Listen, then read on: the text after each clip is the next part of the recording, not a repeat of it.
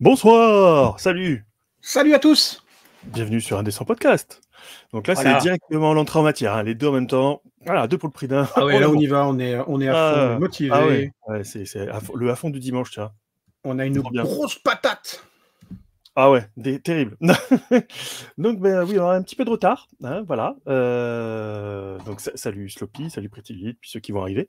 Alors euh, la nouvelle du soir, bah, c'est que, alors je sais pas ce qui s'est passé chez Studio A4.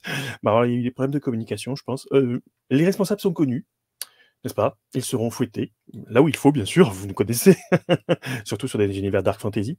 Donc forcément, bah, le live Tainted Grail sera reporté, malheureusement. Donc on va quand même causer un petit peu ce soir, parce que quand même, euh, maintenant qu'on y est, hein, voilà. Et donc voilà, bah, pas de Agathe ce soir, pas de Tainted Grail, pas de, pas de Graal souillé. Euh, hein, c'est comme ça qu'on traduit Tainted? Parce que je t'avoue qu'il y a des moments où l'anglais, je, le comprends, mais bah, le parler, ça devient de plus en plus compliqué. Ça, ça me paraît une bonne traduction. Ouais, donc euh, voilà.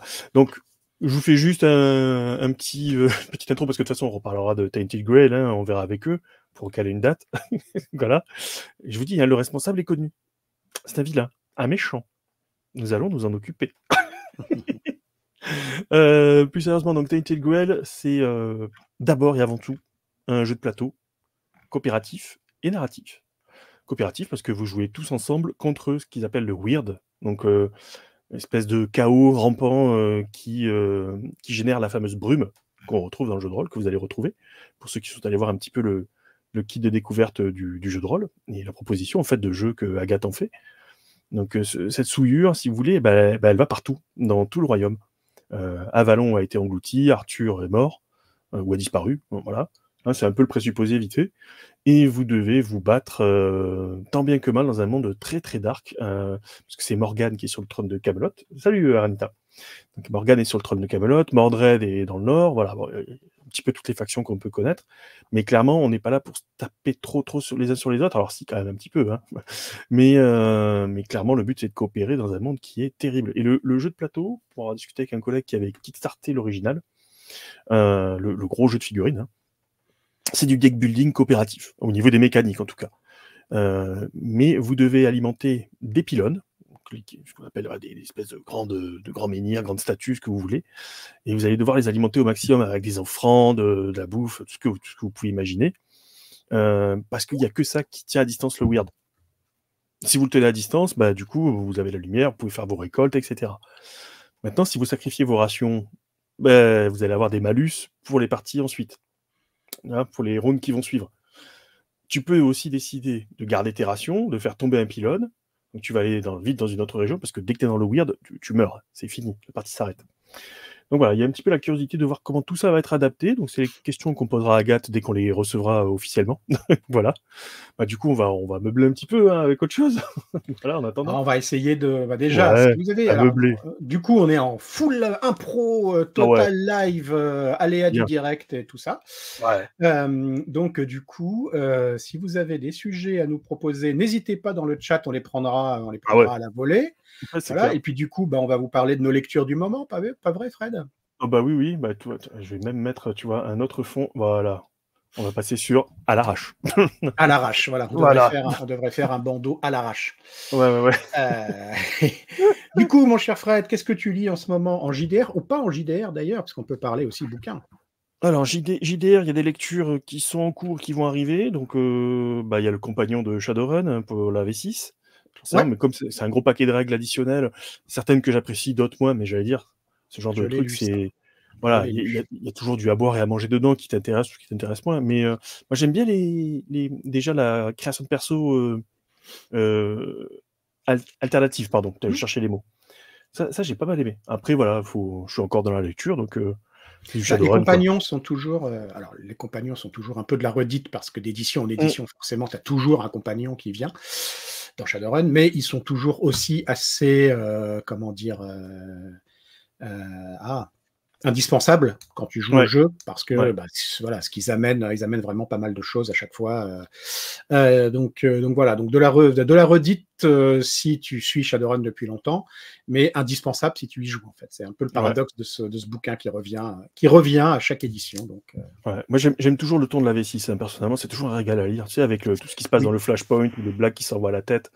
Ça, ça, ça, rajoute un vrai plaisir de lecture parce que sinon ça ferait quand même un peu le bloc début du background de Shadowrun, ils ont pris. Il faut vraiment qu'on fasse live sur les débuts de Shadowrun, qu'on, en parle pendant des heures, des heures, mais ils ont, ils ont pris cette idée, en fait, d'avoir euh, le background qui est commenté par euh, des Shadowrunners, en fait, puisque mm. généralement, on t'explique que le fichier que tu es en train de lire, c'est un fichier que les Shadowrunners se sont, euh, se sont euh, soit, soit on, fait rédiger par l'un d'entre eux, soit ont mis la main dessus en hackant quelque chose, etc. Et mm. après, ils le commentent.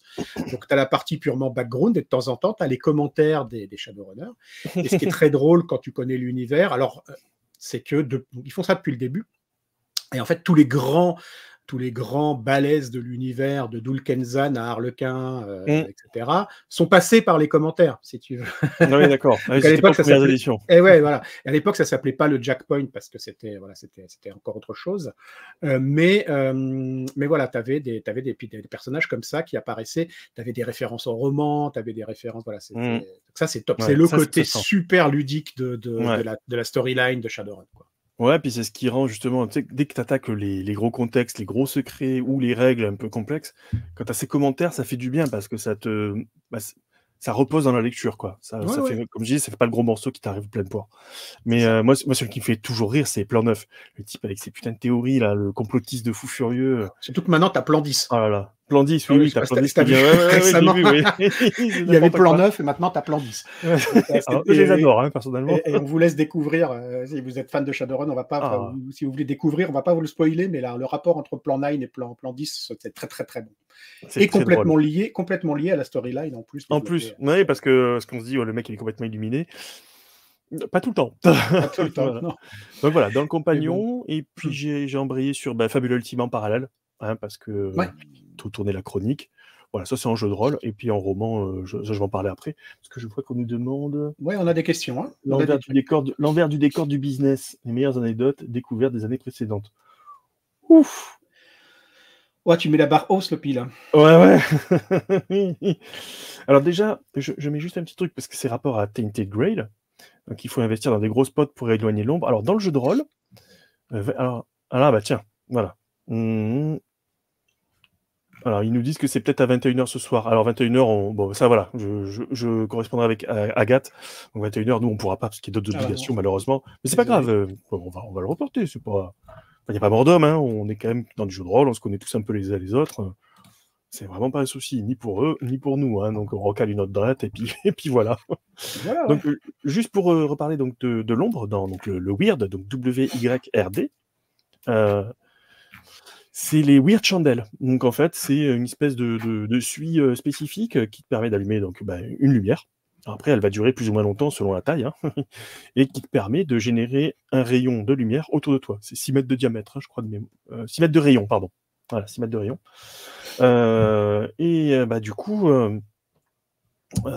c'est ce qui va te permettre de naviguer dans le weird. Donc tu as plutôt intérêt de rester dans le rayon, parce que sinon tu disparais très vite, voire instantanément parce que les monstres sont tout autour et ils t'attendent. Hein. donc euh, non, ils ont, trouvé l'équivalent des pylônes avec ces weird chandelles, de ce que j'ai compris. C'est pour ça qu'on reposera des questions pour rentrer un petit peu plus dans le détail des mécaniques, parce que des mécaniques très intéressantes de jeux de société, tu vas pas forcément les retrouver dans le jeu de rôle. Mmh ce qui est des fois un petit peu dommage, hein, parce que là où tu as ce côté euh, rapide et où voilà, tu as, ce côté très rapide et très ludique, euh, des fois tu vas te retrouver avec des règles, des compétences, des machins, etc c'est un équilibre à trouver aussi, hein, toujours, hein, moi je trouve, hein, entre jeu de société et jeu de rôle euh, en hybridation. Donc, euh, bah, salut William. Donc voilà, euh, écoute, ça va faire partie des, bonnes questions qu'on va leur poser. Tout à fait. du coup, du coup, du coup, donc on nous demande Cannes. Bah, Cannes, alors, je vais parler pour moi parce que je pense que tu en as plus à dire que moi. Moi, je l'ai découvert, enfin, je savais que ça existait, mais la première fois j'y suis allé. Moi, suis... pour le coup, j'y suis jamais allé, c'est ma première. Ah, bah voilà, ok. Tu vois Bah, écoute, moi je l'ai découvert, enfin vraiment, j'y suis allé, comme je te dis, parce que je pense que comme tout le monde, on en a entendu parler. euh, c'est né dans la fin des années 80, je crois, hein, début 90, je crois de mémoire, hein, 86, 80, bref, dans ces eaux-là. Et euh, au début, c'était tout petit, tout petit, puis ça a commencé à prendre l'ampleur vraiment euh, fin des années 90, hein, je dirais, si je dis pas de conneries. J'étais pas trop jeu de société à cette époque-là, hein. et, euh, et ça a pris euh, une ampleur mais phénoménale, quoi. C'est le deuxième salon de jeux en Europe quand même. Juste après Essen. Hein. Essen, c'est la grande foire euh, du jeu de société euh, à destination du public principalement, euh, qui, donc, est en Allemagne, avec le Spiel des Jahres, donc le prix des jeux allemands. Et nous, on a les As d'or, hein, donc voilà, à Cannes. Et il y a, du jeu de rôle. Historiquement, il y a toujours eu du jeu de rôle au, FIGE, au Festival international des jeux, donc. Donc moi, je l'ai vraiment découvert en mode prends-toi ça dans la gueule, juste avant l'apocalypse Covid, donc euh, février 2020. Donc c'était fin février et le Covid est arrivé mi- mi-mars, hein, c'est ça, hein, de mémoire. hein. Ouais, un truc comme ça. Bah, le temps que je remonte et que j'incube, euh, bah, le 14 mars, euh, quand il y a eu le, le confinement, moi je suis tombé malade de 12. D'accord. Donc ça a été bizarre comme période. Mais en tout cas, voilà, peu importe de- du Covid, ça, ça a été le. Bah, tu vois en fait que c'est immense, mais immense. Incroyable. Enfin, c'est tout le palais des festivals qui est pris, quoi. Ouais, ouais. Alors, vu, vu 40 000 mètres carrés, quoi.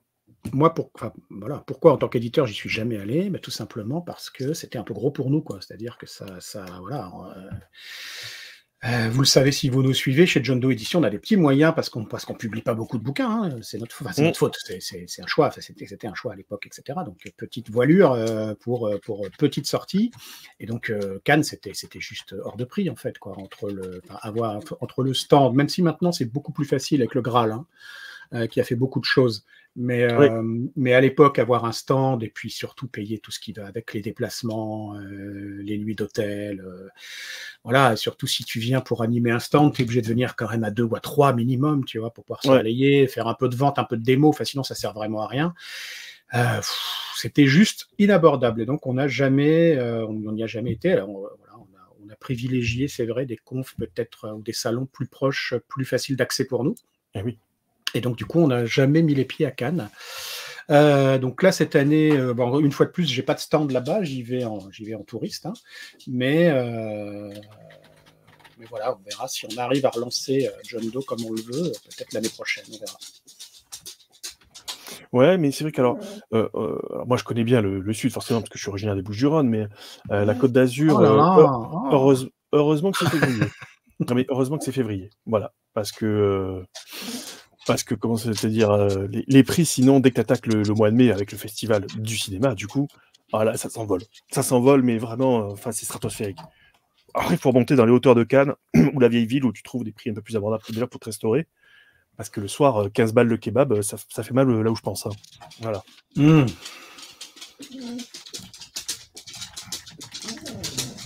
Ouais, j'imagine. Euh, ouais, après, euh, bon, voilà, c'est quand même un énorme événement. euh, Oui.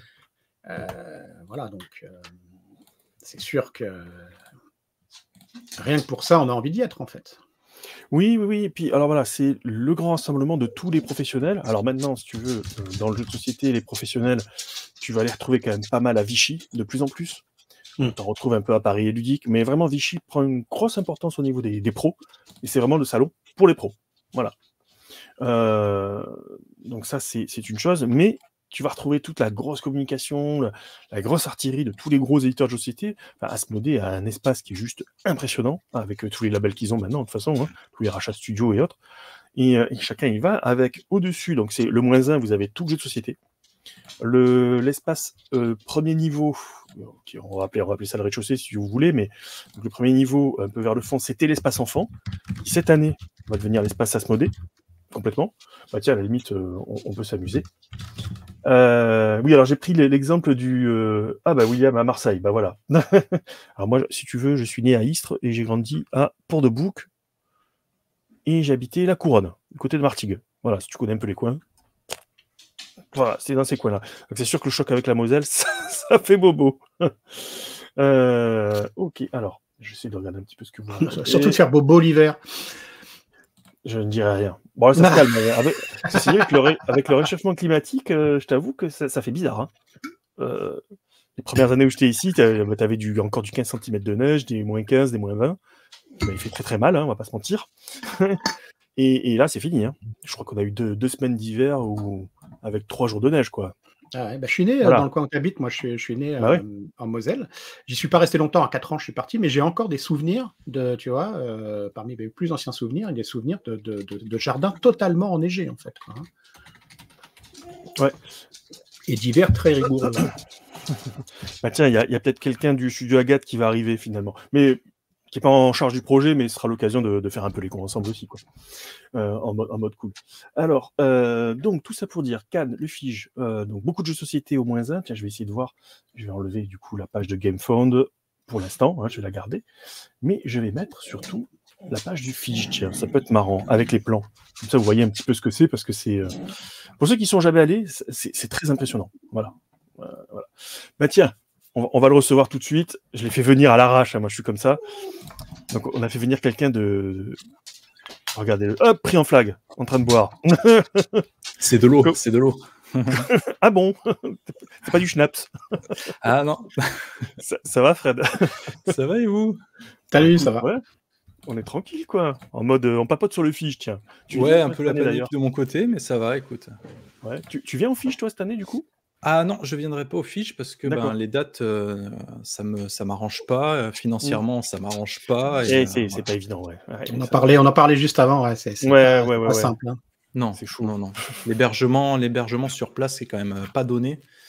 et puis, bah, de tout ce que j'en ai entendu, a priori, le stand, le stand jeu de rôle, enfin le stand, l'espace le, jeu de rôle est assez restreint. Donc bon, c'est faire tout le déplacement juste pour un petit machin. Je préfère encore attendre Kaisersberg. Ouais, alors c'est pas c'est pas petit, on, on va pas se mentir. pas petit? Ok. Non, c'est pas petit, il y a quand même de l'espace. Mais justement, tiens, bah, je, vais, je vais partager tout de suite hop, la page du fiche. Alors, pas se mentir, la fiche de cette année, alors déjà que l'an dernier n'était pas. Voilà, hein, bon, chacun ses goûts. Mais alors cette année, l'affiche. il en faut pour tous les goûts, pas moquer. C'est vrai que l'affiche est pas folle quand même. Elle n'envoie pas trop du rêve, quoi. non. On, va, casser les codes parce que j'ai écouté la conférence de presse, si tu veux. Euh, elle est toujours en ligne, hein, d'ailleurs, sur leur page Facebook ou YouTube, je sais plus. Euh, donc, tu auras un skatepark, tu auras du hip-hop, euh, du rap et tout, sur une scène de concert et tout et tout. Ça va être génial. Mm Bon, écoute, hein, il faut, Après, faut aimer. Hein. Voilà, voilà. Donc, guide ça, il faut pour tous les goûts, moi je trouve ça bien. Exactement, c'est exactement ça. Alors, hop, je te sens chafouin, Fred, dessus Pas du tout. Ah non, non, bah alors franchement, pas du tout. Euh, pour le coup, non. Non, non, non. non, non. Moi, ça. Enfin, tout, tout, ce qui va dans le sens où tu crées d'animation et tout, parce que c'était euh, bah, le festival où je vous casse les pieds régulièrement, étrange grande. Euh, il y a de tout, si tu veux, tu vois, tu as du cosplay, tu as de l'Académie de la Force et tout, et tu as de la littérature et un petit peu de jeu de rôle. Donc moi, tout, tout ce qui permet d'ouvrir et que les gens s'éclatent, mm. bah, c'est bienvenu. Je suis pas client du hip-hop, mais parce que c'est pas ma génération, enfin pas trop trop, quoi. C'est tout. Je, n'ai que ça. il y, a des toits de contrée pour moi, si tu veux, par exemple. Ou de pétanque. Voilà. Après, euh, aller aux fiches pour la pétanque, bon. Ouais, on est d'accord. alors, du coup, voilà, là, vous avez le plan. Euh, alors, ce que vous voyez en violet, en forme de pyramide, là, sur la droite, c'est tout le moins 1. Mhm. Et tout le moins 1, donc ça, c'est tout l'espace jeu de société. Attention, du jeu de rôle peut se cacher dans ses allées. C'est-à-dire que c'est mélangé, c'est ça En fait, j'explique. Euh, donc là, vous voyez la, petite flèche rouge tout en bas, au milieu, euh, qui permet d'accéder. Hein, En mhm. fait, je vais, essayer, je vais essayer de voir si je peux l'agrandir quand même. Ce serait pas mal. Plouc, plouc, plouc. Voilà. On va faire comme ça. Voilà, je pense que ça soit un petit peu mieux. Donc, accès festival. Là, vous le voyez. Et tu peux pointer avec ta souris, ça marche bien aussi. Ouais. On voit la petite, on voit la petite flèche. On voit la petite flèche. Eh ben, normalement, on la voyait tout à l'heure. Voilà, tu vois, mhm. super. Ok, donc là, vous voyez ici l'accès stand. Et en fait, donc surtout moins 1. Alors en 2020, en tout cas, en hein, 2021, il n'y a, pas, a pas eu de fige, hein, on vous le rappelle, hein, malheureusement. Mais euh, quand c'était revenu. Euh... Attends, non, si, 2021, il y a eu un fige, mais en, mode, euh, en mode confinement, quoi. Euh, donc, quand vous descendiez ici, sur, sur ce côté-là, en bas, là, vous aviez le jeu de rôle dans les allées. Ok en, prolongement en fait de tout ce qui est jeux de société, jeux de figurines et autres. Donc le jeu de rôle, si tu fais, il était mélangé et il y avait Black Book avec un énorme stand. Avais, enfin moi en 2020 en tout cas, il y avait Julien Dutel, tu vois les, les gens de rôle, etc. j'imagine. Euh, oui, Arcane, oui. Ah oui, ils jouent à ah domicile. c'est ça. C'est le, d'ailleurs, c'est le seul salon où tu les vois. Oui. Euh, parce que comme tu dis, euh, se déplacer en salon, ça a un coût, quel que soit l'éditeur. C'est ça. Euh, et puis après, il faut avoir envie d'y aller aussi. c'est toujours pareil, ça. Euh, donc, non, Arkane, c'est le seul salon où tu les vois. Euh, bah, Il y avait euh, Chaos Project pour Hammer à l'époque. Mhm. Qui on avait encore? Bah, Il n'y avait pas Agathe. Je- je- Enfin, moi, j'ai jamais vu Agathe à Cannes, en tout cas. Alors, Agathe, je voudrais pas Ah, dire si, de ils y étaient. bêtises. Ils y étaient en 2020. Si, si, Ils y sont allés une fois. Ouais, je crois qu'ils 2020. ont fait, ils ont fait une fois Octogone également. Ouais. Et euh, a priori, c'était pas sans plus, c'était sans plus quoi. Donc ils n'ont pas renouvelé l'expérience. euh, Bah, c'est ce qu'on disait avant, avant que tu arrives avec Manu, c'est-à-dire que le, pour un éditeur, le, tu fais la balance entre ce que ça va te coûter pour venir, pour euh, voilà, etc., vendre tes produits, et puis bah, ce que tu en récoltes derrière. C'est si- ça, si- surtout si plus, la plupart des, des- on est, on est tous un peu en, en télétravail, on est un peu euh, tous de, de- Mm. des quatre coins différents, donc c'est vrai qu'en termes de logistique, de, de- Ouais. Ça, ça a quand même vraiment un, un coût. Euh, donc on, fait euh, Troll et légendes chaque année, a priori. Ouais, c'est génial, Troll et Légendes. Moi, j'y Bah, retourne ce, hein. ce sera ma première fois, hein, du coup. Ah, tu vas te régaler. Je vais découvrir ce que c'est que Troll et légendes. Tu vas te régaler, vraiment. Et, euh, et après, euh, de ce que j'ai entendu pour le moment, donc c'est rien vraiment d'officiel, mais euh, selon les conventions, etc., il y aura probablement des membres du studio mais qui, seront là Mm. à titre personnel, en fait. Ouais, d'accord. Genre euh, Octogone et tout ça, il y avait l'année dernière, il y avait Frédéric Meurin, il y avait, Mm. euh, bah, il y avait moi. Oui. Donc, euh, voilà. Mais, Oui, c'est euh, vrai que, bah, c'est vrai que tu fais venir en disant Die Story, mais tu travailles pour le studio Agathe euh, en charge de la com. hein. du, du coup, oui, un petit peu, C'est ça j'essaye. Oui. Ouais. oui, oui. Donc voilà, c'est pour ça. Du coup, on s'est dit, tiens, on te fait venir. Bon, on va, on va parler un petit peu de Tainted Grail, quoi, quand même, quoi. Hein, Oui, voilà. un petit peu, j'imagine. Ouais. Voilà, là, on fait un petit tour de. Est-ce qu'il y a un stand Tourtel? Oui, oui, oui, oui, oui, oui, oui, oui, oui. C'est sponsorisé par Tourtel. Autant dire que je n'irai pas. pas déconner. Euh, donc, qu'est-ce que je disais sur le fiche Donc, en 2020, en tout cas, qui était juste avant le Covid, avant l'apocalypse, euh, le, le jeu de rôle était à cet endroit-là. Mm. Et donc, tu avais un, un- un taux de passage qui était impressionnant. Et quand je dis impressionnant, c'est-à-dire que le samedi, euh, bah, en fait, tu circulais comme ça. Voilà. Ils tapaient les uns contre les autres parce qu'il y avait un monde de fous furieux. Et même si tu générais pas un chiffre de fou, mais ça générait un passage qui découvrait le jeu de rôle, en fait, à ce moment-là. Mm. Donc, beaucoup, en fait, si tu veux, du Black Book et autres, ils investissaient pour au moins faire parler de leur jeu, même s'ils ne Ouais. vendaient pas comme des fous.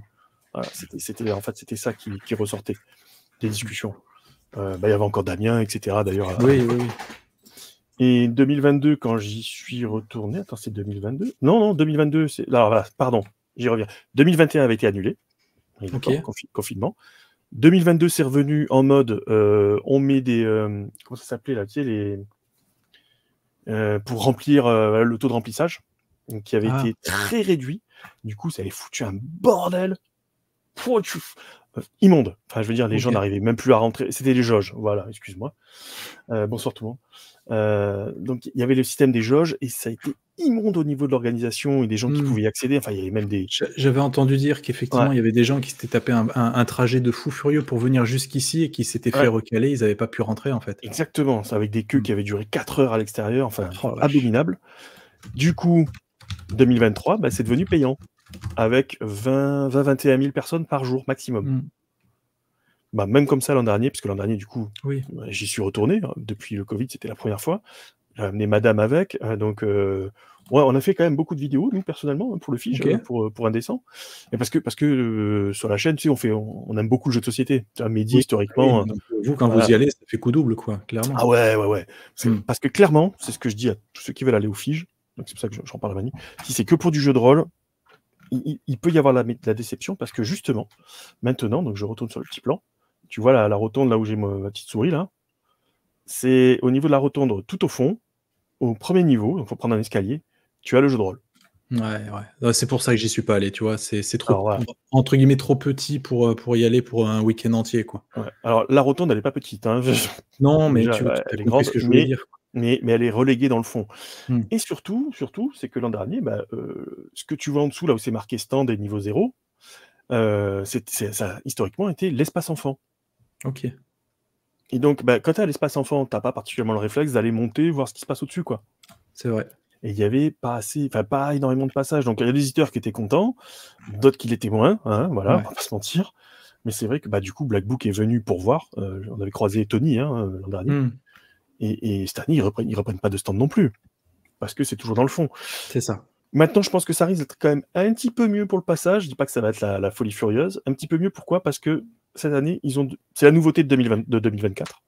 Donc je pense, bah, on va voir ce que ça va donner sur place. hein. Mais 2024, tout le niveau 0 que tu vois en vert là, Ouais. c'est Asmodée et ses studios.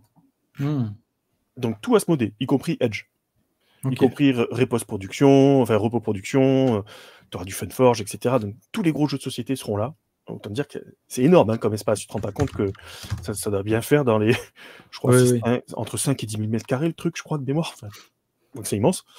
Euh, et du coup, si tu as ces espaces-là, tu auras peut-être plus la tentation d'aller voir au-dessus. Surtout qu'ils ont mis le stand des As d'or au-dessus avec le jeu de rôle. D'accord. Hmm. Donc à voir. À voir. Et sur le sur, sur l'es- sur le- l'esplanade, ils ont rajouté euh, les nuits du golf, euh, des tentes de tournoi, etc. en extérieur. Voilà. Et du coup, le moins 1, c'est que du jeu de société, mais certains éditeurs de jeux de société font du jeu de rôle. Je te rappelle que Gigamic a édité les- Gigamic. les Critical. T'as Don't Panic Game aussi. T'as Don't Panic. Games et t'as Ori Games qui va présenter Oui. du Shan aussi. euh, qui y aura d'autres qu'on avait croisé l'an dernier Open Sesame Game. Oui. Sais, qui font euh, TDOM, entre autres, bah, forcément, ils sont là parce qu'il y a aussi du jeu de société. Mm. Donc voilà, tu, tu retrouves quand même un petit peu de jeu de rôle là-dedans, quoi. Oui, voilà, Buenvenuto, on, on est, on est d'accord, si tu veux faire du jeu de en convention, tu vas à Octogone et pas au Fige. Oui, Tout à fait, oui. Absolument. Octogone, c'est devenu, pour le jeu de rôle, c'est devenu la référence. hein. Voilà. C'est l'usine Octogone. Alors par contre, effectivement, la vue est incroyable dans la rotonde, c'est magnifique. Oui, ça sent pas le poney, C'est- ça c'est vrai. C'est la contrepartie des conventions rôlistes. Il y a bien sûr toujours une, une certaine odeur de mâle, comme on dit. Donc, euh, ouais, et c'est vrai que la, la vue est magnifique. Donc, le bleu, je vois, le, le bleu, est-ce que sur le plan général, c'est la mer? Oui. Ah oui. Spoiler alerte, oui. Euh, dans le Grand Est, oui, bien sûr, Anitax c'est Jeux et compagnie, mais de toute façon, tu vas passer sur la chaîne pour en parler. Donc, Il fait euh, voilà. reprendre de voler, là, mon grand. Ah, bah oui. voilà. Bien vu, Aranita. Voilà. tu viendras de toute façon en parler. Donc oui, c'est vrai qu'Octogone est quand même censé être la Oui. plus grande. Donc Troll et Légende en, en Belgique, qui euh, moi je l'ai découvert l'an dernier et je me suis régalé. Ouais. Kaisersberg, bah, bah, parce que tu Ah, mélanges. K- Kaisersberg, c'est bah, la, meilleure pour moi. hein. Voilà. Après, euh, je suis parti pris aussi. Hein. Ouais, Tout, tout History est là-bas. euh, c'est c'est pas, on n'est pas enfermé dans un, dans un complexe. On est vraiment à l'air libre à, Ouais, Kaisersberg. On mange super bien. On va pas se mentir. L'Alsace, on bouffe bien. Euh, non, et puis c'est grand. Le village est très joli. euh, c'est ça qui est bien. Ouais, c'est vraiment un. Moi, je le trouve vraiment super. hein, ce... Mais c'est plus familial, par contre. hein, On, est, on est bien loin d'Octogone et tout ça, quand même. Il y a quand même Ah, moins ça de rien à voir. Ouais, ouais. Mais, euh, mais moi, je préfère. Voilà. Après, Trois légendes, bah, je vais découvrir Sloppy, hein, d'ailleurs. Tu y seras, j'espère. Ouais, il y est. Ah, oui, il y est. Enfin, moi, je l'a- je l'avais croisé là-bas l'an dernier. Mais euh, sa- salut Tomoun. Ouais, ouais, ouais. Alors, après, chez- chez- Manu, je sais pas les conventions que tu as faites du coup. Euh, Octogone, plusieurs Ouais. fois. euh, Mhm. Avec stand ou sans stand. C'est pas un endroit pour lequel j'ai une sympathie phénoménale, en fait. Mhm. voilà. C'est- incontournable. hein. Ouais. C'est incontournable, mais c'est voilà, pas un endroit euh, que j'aime particulièrement. Euh, sinon, non, malheureusement, avec mes soucis euh, récurrents de, de colonne vertébrale, je fais peu de, je fais peu. Enfin, j'en ai fait beaucoup, j'en fais, j'en fais très peu maintenant. En fait. J'en fais très peu. Euh, cette année, je serai au Festival du jeu à Valence, ok. Ah oui. mais plus pour copiner parce qu'il n'y aura pas beaucoup de jeux de rôle en fait. Euh, Hmm. il n'y a pas beaucoup de jeux de rôle là-bas. Euh, voilà, et puis c'est enfin, j'ai d'autres dates prévues, mais pour l'instant, euh, rien de confirmé. Donc, euh, on, va voir ce que, on va voir ce que ça va donner. Mais euh, non, non, j'en fais. Ça fait quelques années maintenant qu'avec mes soucis de santé, j'en fais beaucoup moins. Et du coup, à part Octogone, qui est un peu le, le rendez-vous incontournable, C'est vrai. Je n'en ai pas fait d'autres dont je pourrais vous parler vraiment. Enfin, en tout cas, ça serait plus de l'actu. Il y en a même certaines qui n'existent plus. Ouais, tu l'avais je me- tu l'avais pas fait, Fred, euh, Octogone, l'année dernière Non, non, Non. non, non, je suis pas allé euh, l'an dernier et C'était- je crois que j'y retournerai plus de toute façon. C'était quand même bien, bien blindé. Il faisait, il faisait une chaleur à crever en plus. Ouais, ouais. Hmm. Non, non, je crois que j'y retournerai plus du tout en fait. Parce que ça m'a. Il y a plein de trucs qui m'ont gonflé, donc euh, voilà. C'est-à-dire, c'est- c'est trop de monde, c'est ça? Ouais, ouais, ouais. Puis, euh, puis, puis, c'était le bordel aussi pour organiser les interviews et tout. Enfin, je veux dire, Ouais. voilà, c'était absolument dégueu. Et, puis- et puis en fait, tu, enfin, c'est des gens que je croise euh, un petit peu ailleurs aussi, tu vois. Donc euh, Oui. voilà, Donc, euh, bah, tu sais, les, les- les copains, je les croise ailleurs qu'à Octogone et je trouve que c'est plus sympa, d'ailleurs. Hmm. T'es moins emmerdé, d'ailleurs, pour aller bouffer le soir, déjà. Clairement, à Octogone. Bah, disons qu'à Octogone, soir, une fois que tu es sorti d'une Ninkasi ou du McDo, il reste plus grand chose. Quoi, hein. c'est ça, hein, c'est compliqué. hein. Donc, euh, ouais. Alors, euh, je vois qu'on nous pose la question euh, si vous deviez créer un festival, où est-ce que vous le feriez? Eh ben, je t'avoue, moi j'ai un regret, personnellement, hein, parce que j'y allais beaucoup, beaucoup, qui n'existe plus, c'était le monde du jeu à Paris. Ouais, mais Paris, c'est toujours à Paris qu'il y a des trucs aussi. Bah hein. ouais, mais c'est. Non, ça c'est vrai, c'est très bien d'ailleurs. Moi, je trouve ça très bien que Ouais. là, les gros trucs maintenant soient, euh, Soit en dehors. plutôt, euh, Ouais, plutôt en je suis assez hein. d'accord. Ça, c'est très chouette. Maintenant, c'est vrai que nous, bah, moi qui vis en région parisienne, euh, bah, ouais, on n'a plus de, on n'a plus d'événements proches, quoi. C'est un peu. Parce qu'avant, c'était le monde du jeu. Hein. On croisait Ouais. quoi Hexagonal, euh, tous les gros éditeurs de l'époque hein, qui ont disparu Ça maintenant. hein. renvoie à une, à, une, à une époque que les plus jeunes ne peuvent pas connaître. Ah ouais, ouais, parce que moi, j'ai faisais partie de la sauce. euh, Tu sais, Ténébrae, je sais pas si tu connais. Ténébrae, le monde des ténèbres. Donc, j'étais dans la sauce à l'époque et on, avait le stand et tout. C'était trop bien, quoi. Ah, Figure-toi, moi, j'y suis allé une année où il y avait euh, Gary Gigax qui dédicaçait son Ah. JDR Dangerous Journeys. Oh oui, euh, les, les Voilà. donc, journée, j'ai une superbe dédicace, je ne l'ai pas là sous la main, mais je pourrais vous la montrer. Euh, J'avais écrit un jeu de rôle amateur à l'époque, j'étais encore au lycée, hein, et, Mhm. euh, et, Gigax a eu la gentillesse de m'écrire un, un chouette message au dos de ma couverture, voilà, de, mon, de mon JDR amateur. Voilà. Donc, Ah ouais. La classe. belle relique. ouais. Mais surtout qu'en plus, bah, enfin, Dangerous Journée, je sais pas si tu as lu son jeu de rôle, mais alors, c'est. Ah oui, oui, non, mais déjà à l'époque, c'était pas. Voilà. Il faisait même des démos, il faisait des démos de, de Dangerous Journeys à, à cette Ouais. occasion. Et puis c'était le salon de la maquette. Oui. Donc du coup, c'était marrant parce que tu pouvais te balader dans les allées du salon de la maquette où il y avait des, des très, chouettes, des très chouettes trucs à voir. Ouais. Après, tu avais, le... avais les débuts de la Comic Con euh, parisienne, hein. tu avais, pas mal de trucs, Ghostbusters, Stargate et tout. Enfin, moi, j'aimais bien le, le monde du jeu.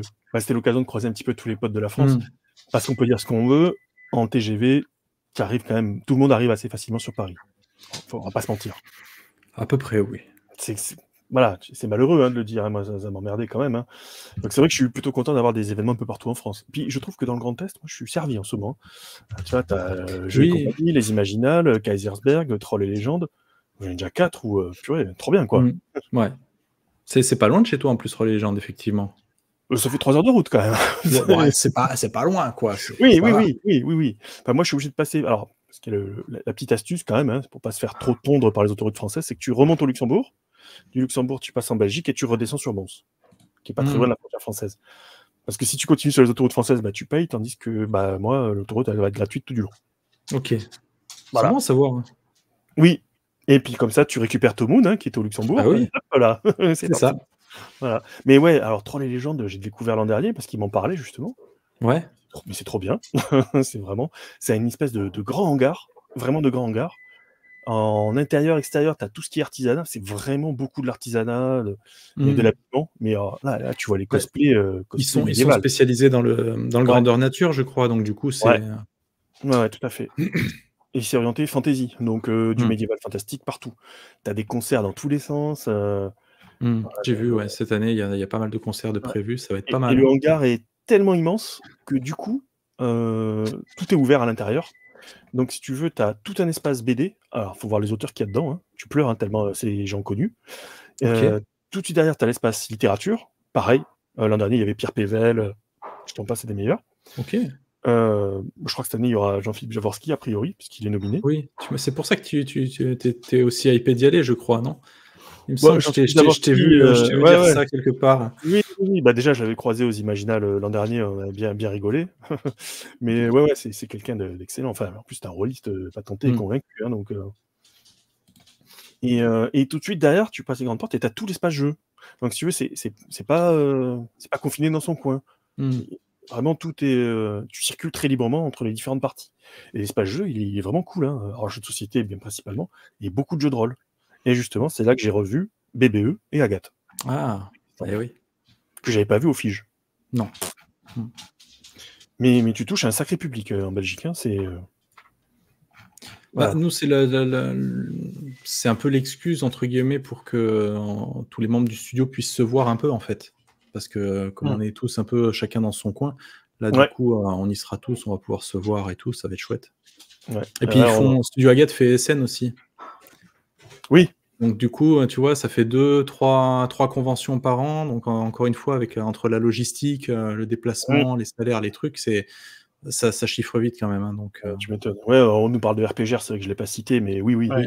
Alors, moi, j'ai jamais. Enfin, c'est pas que j'ai pas envie d'y aller, hein, mais c'est vrai que pour moi, Moselle, c'est vraiment très, très, très, très loin. Donc, on avait calculé, c'est quasiment dans les 900 bornes hein, pour y aller. Hein, donc, euh. Ouais, oui, oui, ça commence à faire. Ouais, ouais, mais ça, ça, ça m'ennuie hein, parce que tout le monde me l'a vendu, euh, que ce soit dans l'équipe ou. Euh, ouais, c'est pareil. RPGR, j'aimerais bien y aller, mais c'est pareil, tu vois, le, le...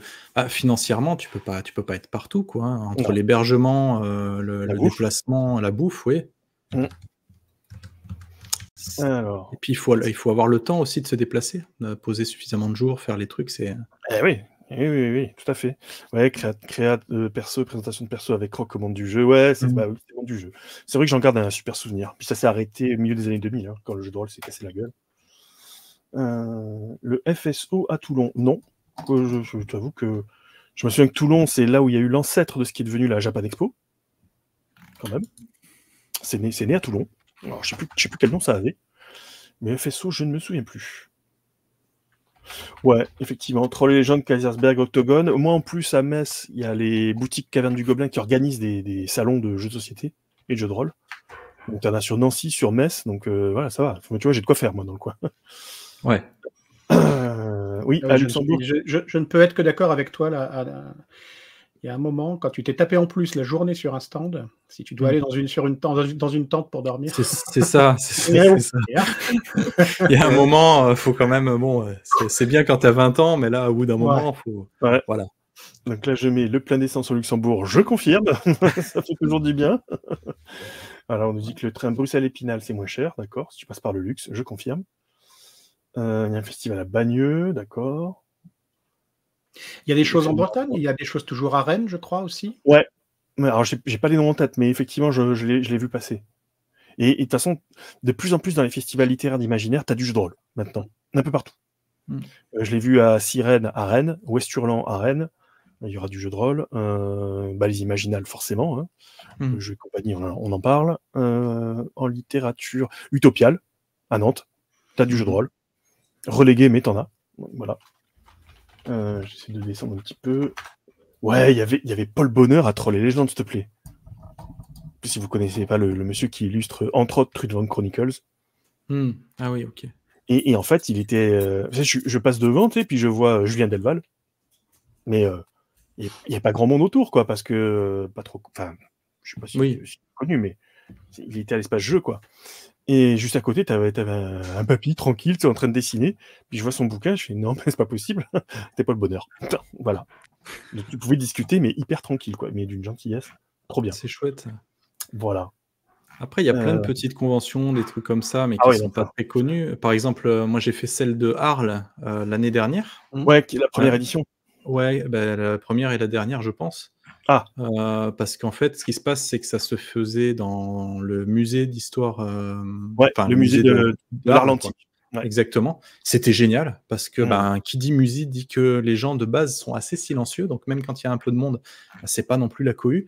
En mmh. plus, faire du jeu de rôle. Alors moi, en plus, j'ai joué à The Haste, donc le truc de casse. Ah oui. Tu joues à un jeu de casse et dans un musée à côté, ça avait un petit côté quand même assez cool. donc le, cadre était super. Après, voilà, il n'y avait pas grand monde en termes d'exposants. il y en avait quelques-uns, mais c'était pas non plus euh, voilà, la folie. Mais par contre, le cadre était incroyable. Malheureusement, de ce que j'ai cru comprendre, ça ne sera pas, il n'y aura pas de nouvelle édition parce que pour des raisons de sécurité, les, le musée ne veut pas que d'une année sur l'autre, les mêmes exposants reviennent, euh, pour pas que ça fasse une routine ou je sais pas quoi. Voilà, a priori, dans, dans, leur, euh, dans leurs accords, il y a, y a, un truc dans ce genre-là qui fait qu'il ne pourra pas y en avoir une deuxième. Ah merde, parce que le musée de l'Atlantique, je connais bien, j'ai travaillé sur Arles pendant trois hmm. mois, et j'y allais régulièrement. C'est un super musée, hein, incroyable. Hein. Si vous aimez l'Antiquité, enfin moi j'adore la période romaine et tout, donc c'est super musée. Ouais, ouais, j'ai visité ce musée et il est top, effectivement. Ah, Vraiment euh, super. Ouais, puis en plus, il y avait des, visites guidées qui étaient, euh, qui étaient prévues mm. exprès pour, euh, pour les expositions et tout ça. Donc, on a pu, moi, j'ai fait une petite visite express. je me suis dit, quitte à être là, autant joindre l'utile à l'agréable. Quoi. Mm. Et c'était plutôt chouette. Hein. Mm, bah après, il y, a le, y a le musée de la romanité à Nîmes hein, aussi. Oui, même genre. qui peut être investi. Bon, après, il faut qu'ils voient. euh, je crois que c'est Booking Game hein, qui est derrière, euh, Oui. enfin, le manoir du crime, etc. Ouais, donc- ouais. Bah, ouais, ouais, donc euh, le, le problème, c'est toujours pareil, c'est l'emplacement, quoi. Mais euh, je trouve que, le fait de l'avoir fait dans un musée, ça a apporté vraiment une touche vraiment, quoi, vraiment chouette.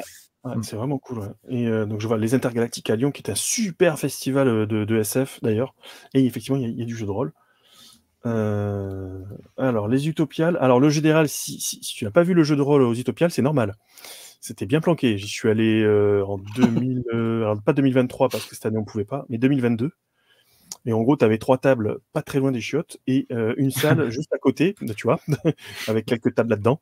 Ça, ça a été méchamment relégué aux Utopiales, ce qui est con parce que tu avais des conférences. Alors, les conférences aux Utopiales, c'est quelque chose, hein, pour ceux Mm. qui connaissent un peu. Et tu avais une conférence sur le jeu de rôle. D'accord. Donc, euh, euh, cool, quoi, tu vois. Euh, mais par contre, le jeu de rôle, il est méchamment relégué. Ça mériterait plus. Ah, il, me, bon, se- il me- après- il me semblait que ça avait été bien cette année, enfin en 2023 justement les Utopiales, parce que euh, on a Je, sais pas. Il, il paraît, ouais, c'est ce que m'a dit Freux hein, de Geek Power, parce que les, comme, Ouais. comme les copains de, de Geek Power sont en Vendée, bah, eux, ils, ont, ils y vont beaucoup plus facilement, si tu veux. Hein. Ouais, nous on a les copains de chez euh, Critical Play qui sont sur Ouais. place. Il y a, il y en avait plusieurs, ouais, des, des- streamers qui sont là-bas. Donc a priori ils sont, ils sont tous retrouvés et a priori les, les Utopiales c'est chouette. Moi ça me fait quand même vachement loin d'aller à Nantes. J'ai essayé une fois hein, l'année dernière pour aller justement jouer chez chez Critical Play. C'était entre 8 et 9 heures de train quoi. Donc euh, Ah ouais. ça fait, ouais, je suis, je suis vaillant, mais bon, c'est, c'est, faut que ça reste exceptionnel, quoi, parce que 8 heures de train, ça fait quand même beaucoup dans les pattes, hein. surtout que c'est l'aller et retour encore.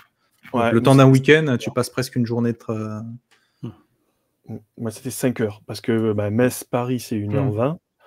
Ensuite, après, bah, tu as le, le temps où tu ailles de, de Gare de l'Est à Gare. euh, c'est Montparnasse ou Saint-Lazare? Hmm. je, je crois que c'est. Je ne sais plus, je t'avoue. Je Pour aller où? à, à Nantes? À Nantes. C'est pas Saint- Saint-Lazare, ça c'est sûr. C'est vrai que c'est Montparnasse. Cidre et bon, pardon. Dragon, Cidre et Dragon, c'est du côté de Caen, ça, non? Oui, Exactement, il paraît que c'est chouette ouais. aussi, Cidre et Ouais, Dragon. Ouais. Alors c'est, c'est, il y a beaucoup, beaucoup de choses. hein. Il y a beaucoup de, il y a Mm. du cosplay, il y a de la, il y a de la reconstitution historique, il y a énormément de choses, ouais, à Cidre et Pour- Dragon.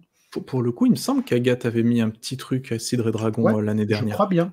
Parce qu'il y avait Possible, ouais. Vincent, euh, il y avait Vincent, euh, je suis presque sûr qu'il y était. Donc, euh, il me semble qu'il y avait un petit stand. hein. Ouais, donc euh, les festivals, tu, tu en trouves régulièrement, donc ça, c'est Mm. c'est vraiment très cool. Mais les Utop, ouais, j'ai dit, bon, nous, 5, 5 heures et demie de train, ça allait, parce qu'en fait, quand Oui. tu arrives en gare de Nantes, tu es tout de suite à l'hôtel, et quand tu es à l'hôtel, bah, le- l'espace où il y a les Utop, c'est à 500 mètres à pied. Ah, ça, c'est pratique. C'est vraiment euh, nickel, quoi. Non, t'es bien. hein. J'avoue Ouais. que c'était bien. Mais pareil, c'est pas le genre de festival où tu vas aller que pour du jeu de rôle. Bah, sinon, tu, tu vas, tu vas être quand même encore plus déçu pour Cannes, je, je pense. Vraiment, Ouais. parce que tu as encore moins de jeux de rôle, en fait. Oui, oui, c'est pour ça que, enfin, au niveau financier, au niveau temps, etc., moi, je cible principalement le jeu de rôle parce que j'ai pas le temps de- d'en faire 36. Donc, euh, Octogone et Kaisersberg, euh, à titre perso, c'est c'est déjà bien. Et euh, au niveau pro, bah, ce sera Troll et Légende. Ça en fait quand même déjà trois par an. Ça me semble déjà. Ouais, paraît rôle, bien déjà. C'est Ouais, bien. c'est un peu comme toi, mais euh, c'est vrai que nous, ma- on fait du littéraire aussi avec, avec Oui. madame. donc ça en rajoute un gros paquet. T'imagines Bah, les Imaginales, ça va, c'est Épinal. Étrange Grande, ça va, c'est à 30 km et je fais partie de leur gars, donc si j'y vais pas, je me fais fouetter euh, direct. Euh, mais après, on a le quai du, quai du Polar qui est à Lyon. Euh, Qu'est-ce qu'on va les faire encore?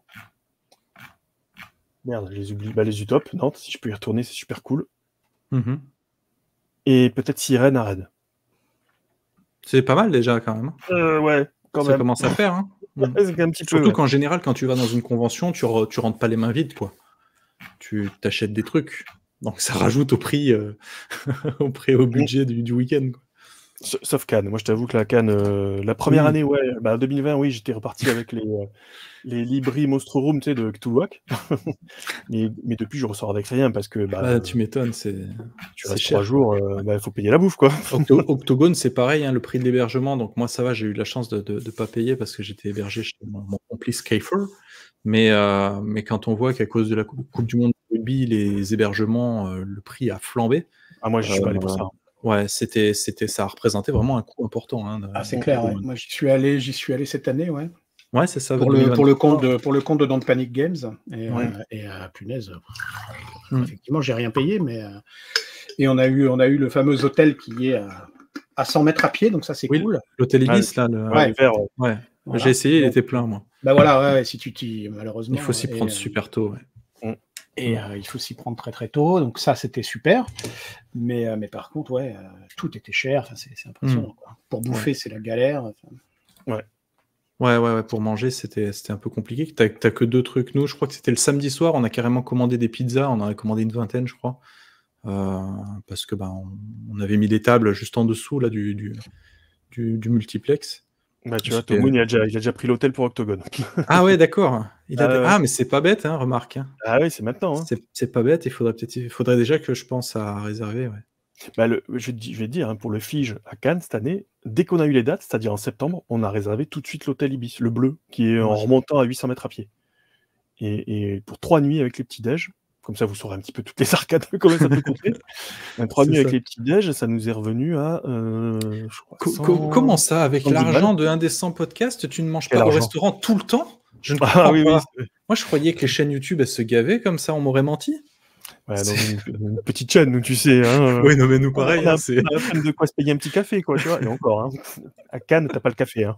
à Cannes, tu l'as, Ah. mais tu restes debout, quoi. hein, C'est c'est pas en terrasse, quoi. Ça nous a coûté ouais, même pas 180 balles les trois nuits avec petit déj, quoi.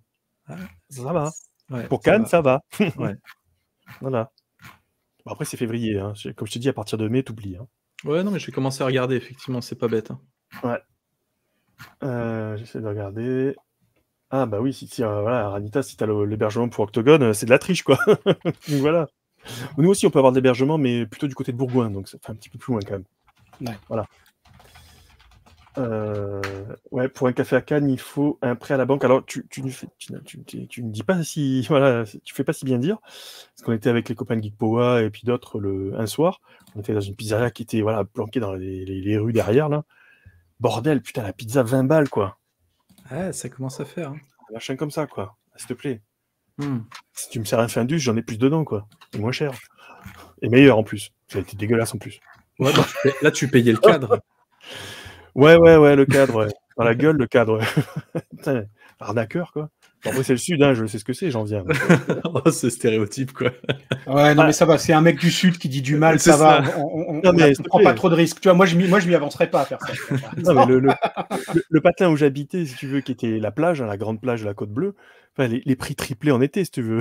Oui, non, mais ça, c'est habituel. Mais En par contre, ce que tu dis pas ouais. aussi, c'est que la plupart des gens qui ouvrent des restaurants dans le sud, ils sont pas du sud quand même. hein. Donc, Non. euh, voilà. c'est- Donc, bon, De toute façon, c'est pas des restaurateurs, ils en ont rien à foutre. ils Non, c'est ça. Ça change chaque deux ans, ils année. ferment. c'est- Non, deux ans. Ça ferme tous les Ah deux ouais ans, à peu près. Oui, oui. Moi, chez moi, c'est presque tous les ans, tu vois. Ah Moi, oui, je mais. je suis- je suis en- derrière oui. Montpellier, là. ouais. Oui, mais là-bas, c'est. Bah, c'est- j'ai fait toutes mes études à Aix-en-Provence. Alors là, le taux de rotation des, des restos, c'était six mois. C'est ça. Ok, bon. Oui, les escrocs, on en voit. Mais ouais, les, les prix triplés, sauf pour les gens du village, parce qu'ils nous reconnaissaient à la supérette, on avait les droits au, au prix officieux. Ça, c'est déjà bien parce que tu vois, chez moi, les prix euh, triplent, mais pour nous aussi, en fait. Sauf Ah ouais que, euh, Ouais, ouais, non, non. Ah non, l'été, c'est infernal chez nous. C'est, c'est, c'est, euh, dans les supermarchés, ça prend 30%. L'essence, tu sais pas pourquoi, elle est plus chère. Va, va comprendre. Euh, et en plus, la plage, ben, il y a tellement de monde que tu vois même pas le sable. Tu vois, ils sont tous allongés dessus. Ah non, c'est, moi, j'aime pas l'été hein, là où je suis, hein, vraiment. Ah ben, je sais ouais. On Et quand je pense les- aux Parisiens qui payent pour venir vivre ça, tu vois, tu te dis, ah ouais, quand même, c'est. Mais euh, ouais, je sais qu'on appelait ça soit, soit l'invasion des, des criquets, soit les vanilles fraises. Parce que Ah, les euh, fraîches, j'aime bien ah, l'image. oui, oui, oui, Ouais, les ouais. vanilles. tu vois, tous les gens qui arrivent du Nord et qui se mettent tout blanc, et puis après, t'as le C'est côté ça. rouge, le côté blanc. C'est Les vrai. vanilles fraises. voilà. Si t'entends ça dans le Sud, tu sais ce que ça veut Je dire. connaissais pas, tu vois, l'expression, mais j'aime beaucoup. euh.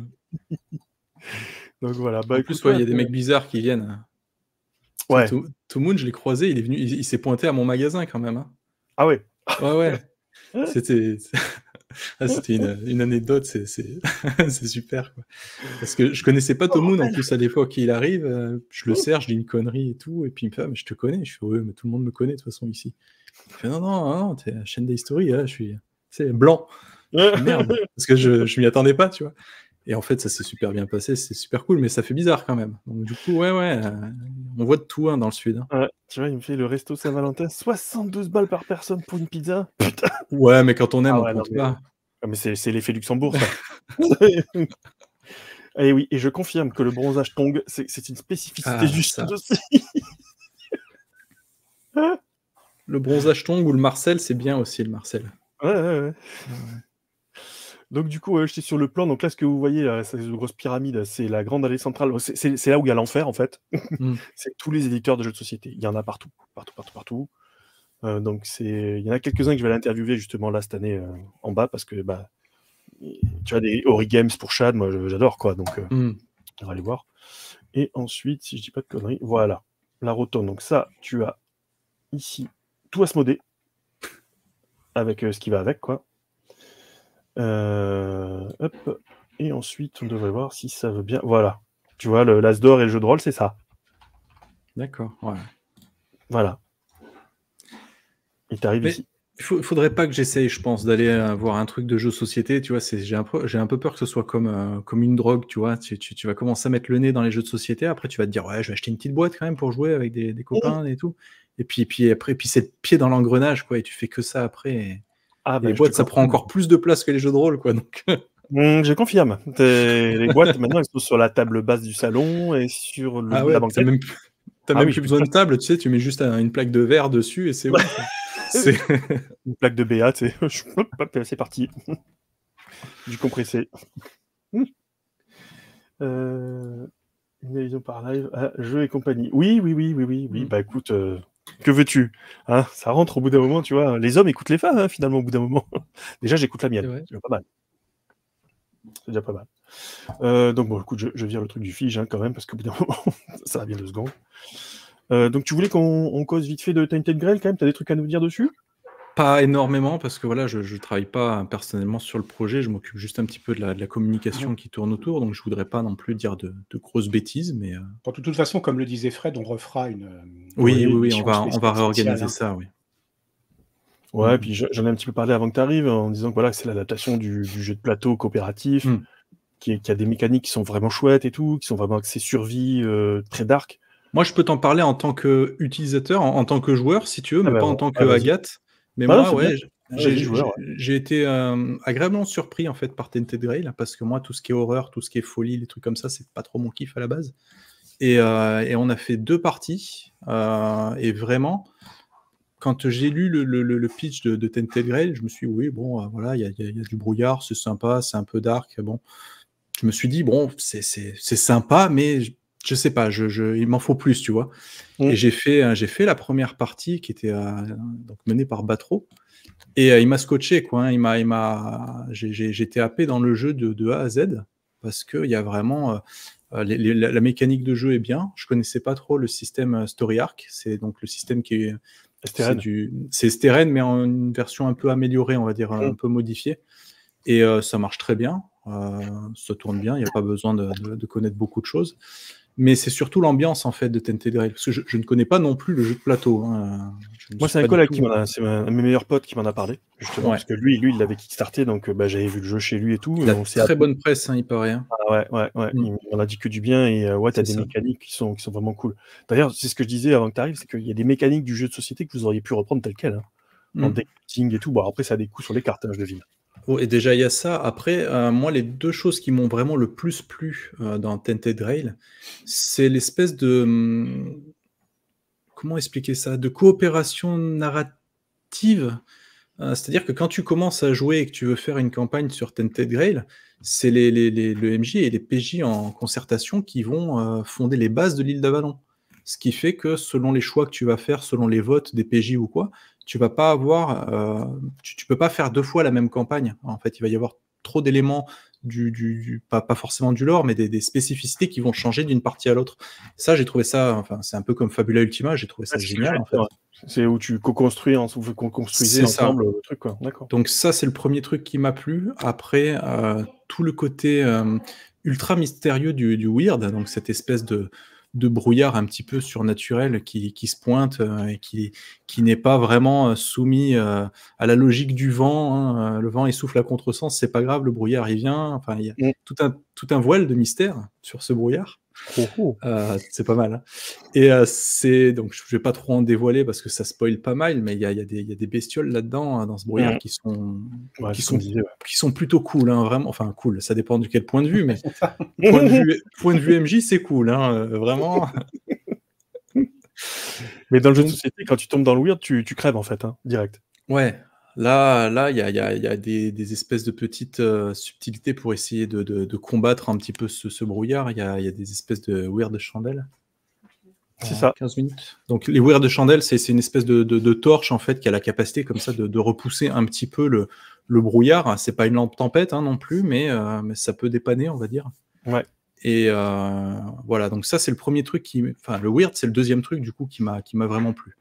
Euh, j'ai trouvé que c'était euh, simple dans l'idée, mais au final, euh, tout ce que ça apporte au jeu, j'ai trouvé ça vraiment sympa. Et après, bah voilà, le cadre qui est quand même sérieux, qui est quand même assez dur au final, parce qu'on joue pas des, on n'est pas vraiment des héros, quoi. hein, euh, Mm, Ouais, c'est de la survie. Hein. c'est un petit peu de la survie, ouais. Donc euh, voilà, c'est vraiment l'ambiance, moi, qui m'a qui m'a vraiment plu. Mm.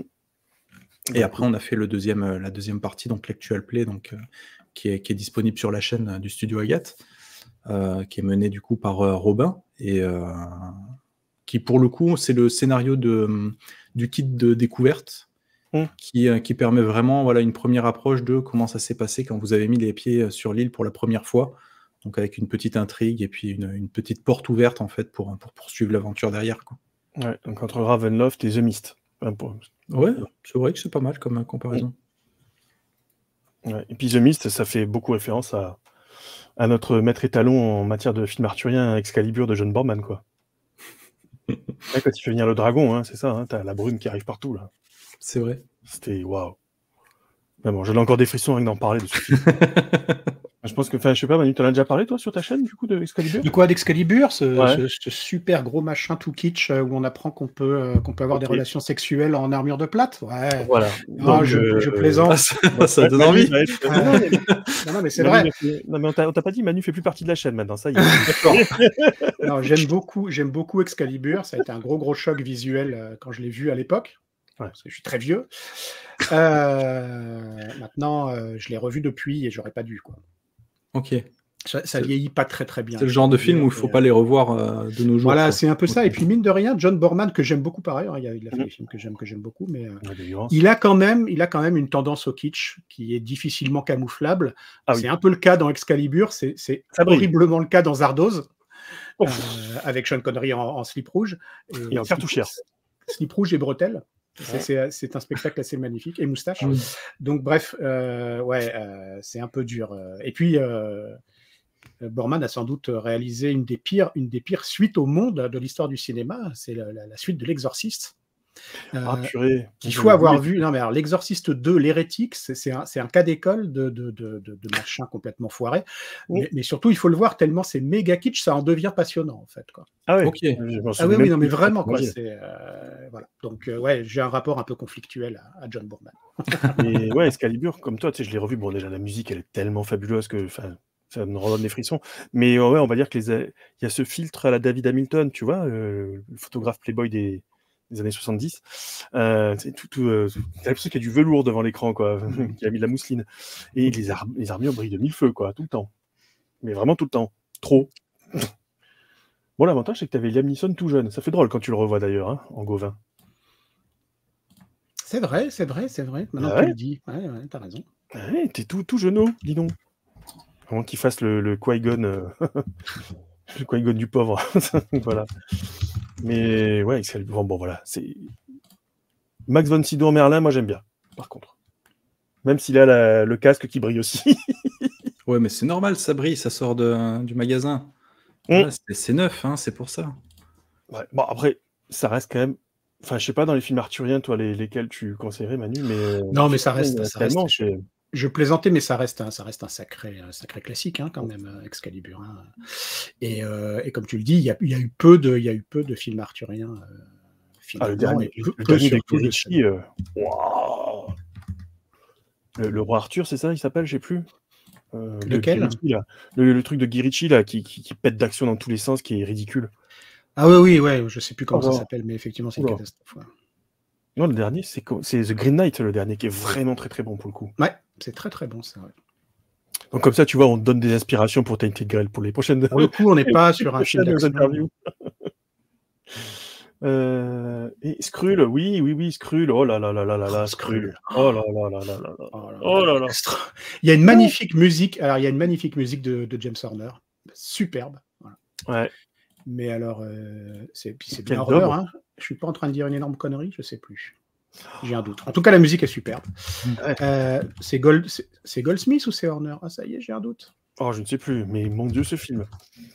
Alors, si tu veux du nanar, parce que là, on est dans la catégorie nanar, hein, Mm. voilà. c'est extraordinaire. Je crois que ça se passe de mots. Hein. On est au niveau de Dar l'Invincible, quand même.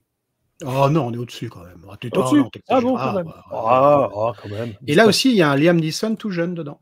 Bah oui, c'est pour ça qu'il a été cité. Donc voilà, tu vois, on essaie de te trouver des inspi pour les prochaines interviews Tainted Grail.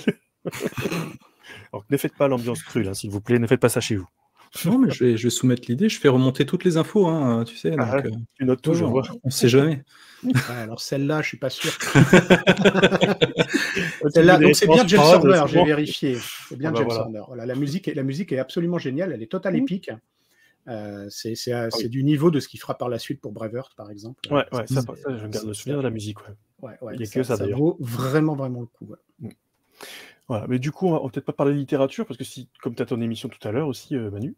euh, Euh, oui, bah écoute, comme tu veux. Ouais, Ouais, ouais, Je- parce que ça fait, ça encore fait déjà heure hein, qu'on raconte un peu. Je suis encore un peu dispo, donc c'est comme vous, comme vous voulez. Bon, bah écoute. Euh, je sais pas, Fred, toi, t'as encore un petit peu de temps, j'ai entendu 15 minutes, sinon Madame s'énerve, c'est ça? Non, c'est surtout que euh, j'ai faim, en fait. Ah oui, C'est bientôt l'heure du repas, en fait. Donc, ouais, dans, dans, dans Bien cinq sûr, bien minutes, sûr. je, je décolle dans 5 minutes. Quoi. Ouais, ouais, je pense qu'on va, on va faire pareil aussi, de toute façon. Euh, C'était l'occasion de t'inviter puis de faire un peu les conventions. Oui, oui, voilà. Bah, écoute, discuter des conventions, ouais, c'est vrai que c'est marrant. Ouais. Ouais, les, les à côté des conventions, Hmm. c'est rigolo. Parce que du coup, bah, je- du coup quand on a une chaîne YouTube et qu'on veut programmer ses interviews, euh, soit on le fait à l'arrache comme moi, donc on s'y prend trois jours avant, soit tu essayes deux mois avant de prévenir un peu les gens. Et encore, c'est bien, tu t'y prends trois jours à l'avance, hein, parce que nous, on y va les mains dans les poches, euh, puis on Ah ouais. fait ça sur le moment, euh, si on y arrive, et puis voilà. hein, c'est... Alors le fiche, t'es obligé de prévenir un peu avant quand même. Oui, c'est pour ça Ah qu'on oui. n'y va pas. À les Imaginales, ouais, j'avais dû prévenir un peu avant. Euh, Ouais. Pour, euh, comment s'appelle, euh, Laurent Genefort, par exemple, j'avais prévenu Hmm. deux semaines avant. D'accord. Ouais, les interviews, les seules qu'on fait, nous, c'est à Octogone, et en fait, on n'en fait pas vraiment des masses, Mm. euh, parce que vraiment, Kaisersberg, c'est vraiment le, le- l'instant où on a envie de se retrouver. Donc, on va voir les éditeurs et tout ça, mais on n'est pas, on n'est pas vraiment là pour la chaîne. On est là surtout pour, pour être entre nous, voir les viewers aussi, plus pour le côté humain que, que le côté euh, YouTube. Ah non, ah non, tu vas pas faire ça. Si, on est obligé quand même. Quand je vous disais que, quand je vous Ah. disais que c'était du lourd, Ah voilà, c'est du lourd. c'est pas semblant. Tu, tu veux qu'on dise les premières paroles de Zardos, s'il te plaît? Ah, je m'en souviens plus. Le pénis, c'est le mal. Ah, oui, c'est vrai. Et oui, c'est vrai, ils le disent. Pénis is evil. Voilà. Comme ça, vous l'avez vu et vous ne pourrez plus jamais le, ne pas le voir. Voilà. Juste avant le repas, c'est cool. hein. Ah, c'est- c'est- Oui, même Barbarella est moins kitsch, je te confirme. ouais. On aime le partage, on aime Ouais, non, mais je vois ça, c'est bien. Ouais. hein. Plaisir de partager, joie de recevoir. les traumatismes d'enfance, tu vois. Il y a un moment, il faut que ça, faut que ça sorte, quoi. Ah ouais, ouais. ouais il, faut, il faut extérioriser tout ça, je te comprends. Mm. C'est une thérapie, c'est ça C'est ça, Presque. Exactement. Bon, bah écoute, euh, finalement, tu vois, on a, on a, on aura eu quelqu'un de chez Agathe. hein. Oui, oui, ouais, c'est pas forcément le plus intéressant, mais bon, au moins, voilà, c'est Arrête, le dévaloriser. quoi. Mais oui. Non, on va, on va reprogrammer ça. Mais oui, Ouais, Il a t'inquiète. pas de souci. Ah oui. Enfin, tu nous connais maintenant. Enfin, je crois. Oui. Oui, euh, vite fait, quoi. Pas assez encore. Non, pas assez encore. hein. Ouais, ouais, ouais. On gagne à, être- à pas connu en fait, parce que tu vas voir on est des enfoirés. Le genre d'amis qu'on préfère avoir en photo, c'est ça? Ouais, de loin, mais. D'accord. Euh, bah écoute, je sais pas si tu veux parler un peu de bouquin, Manu, si tu as encore un peu de temps, si tu veux, on peut arrêter là après tout. hein. Écoute, il me reste, il me reste, un, ouais, il me reste 20 minutes sans souci, quoi. Comme tu veux. Donc, on, peut, on peut, on peut parler de bouquin. ouais. Allez. Ça marche. rapidement, Bah, quoi. écoutez, moi, je vais vous, je vais vous laisser pour Ouais. ce soir, alors, du coup. Bah, merci comme d'être ça. passé, Ça Frédéric. marche, c'était très Bah, merci pour l'invitation, Ouais, Ouais. je t'en prie. Et puis, bah, merci chouette. beaucoup. Je vous dis à très bientôt. Euh, Ouais. À bientôt le chat. Ouais. Ah oui, le programme de Die Story, c'est quand vous, du coup? Bah, du coup, ce soir, c'est annulé. On avait un stream, mais on le fera pas. Ouais, j'ai vu, pas ouais. trop dispo. Et euh, très sincèrement, je sais plus trop pour la semaine prochaine. Je vais regarder ça. Mais je crois qu'en ce moment, on n'a pas des masses de choses de prévues. Mhm. Euh, je te dis ça. Si ça charge.